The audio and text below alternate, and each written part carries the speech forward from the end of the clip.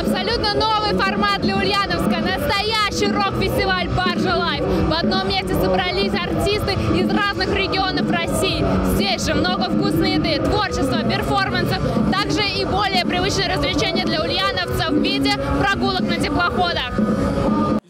Такого скопления людей Ульяновский речной порт не видел давно. Несмотря на знойную жару, все поклонники рока собрались в одном месте. Организаторы постарались сделать максимально насыщенную программу. Ульяновские рестораторы кормили гостей фестиваля самой вкусной едой. Музыкальный джем, танцевальные батлы, экологические мастер-классы. Развлечения подготовили для разных возрастов. Подумали и об общественном транспорте. Он ходил в усиленном режиме. Были организованы и специальные автобусы. Но организаторы считают, есть куда расти расти. Мне главное, чтобы было кайфово всем. Нам, артистам, нам, организаторам, зри... мне, зрителю. Вот. Поэтому я хочу что-то поменять в следующем году, если что-то будет.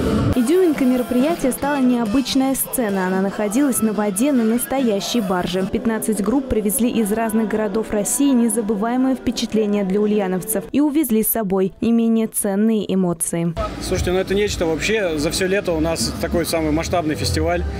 Потрясающая организация на сцене, техперсонал, звуковики просто муа, великолепно. Публика отличная. Мы очень рады, что мы смогли привести вам наше творчество и поделиться.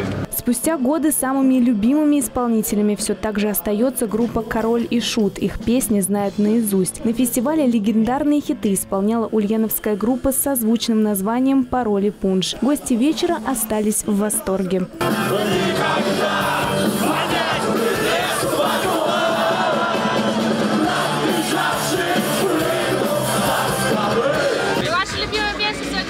Да, король и шут, прыгни со скалы. Мертвый анархист.